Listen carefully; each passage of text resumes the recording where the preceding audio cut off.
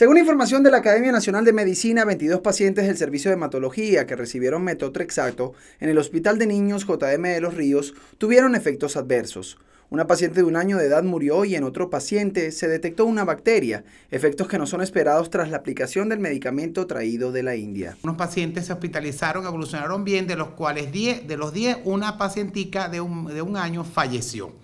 Las doctoras del Hospital de Niños hicieron una prueba microbiológica, un cultivo, no del frasco que se abrió para ese momento, sino del resto de los frascos de ese lote en privado, porque en el Hospital de Niños no hay microbiología para hacer ese estudio.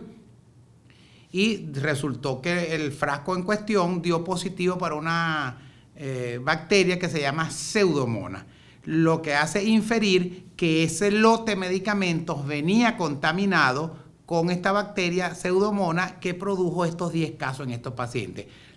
Por otro lado, la Academia Nacional de Medicina y la Organización Panamericana de la Salud detallaron que hay 8.900 casos de dengue en el país y tuvo un aumento del 12,5% en comparación con el año pasado. Sin embargo, también hay casos de chikungunya, zika e influenza porque son patologías que comienzan o se manifiestan primero por la vía respiratoria, pero mucha gente no va a los hospitales porque son cuadros virales que se autolimitan normalmente y en 48 72 horas la persona empieza a sentir mejoría. Pero aquellos que no sienten mejoría, sino que ven que la cosa se complica, pues es donde recomendamos que deben acudir al médico, evitar la automedicación, porque somos los médicos, aunque no hay serología disponible en todos los hospitales para hacer diagnósticos serológicos, si es dengue, si es chikungunya, si es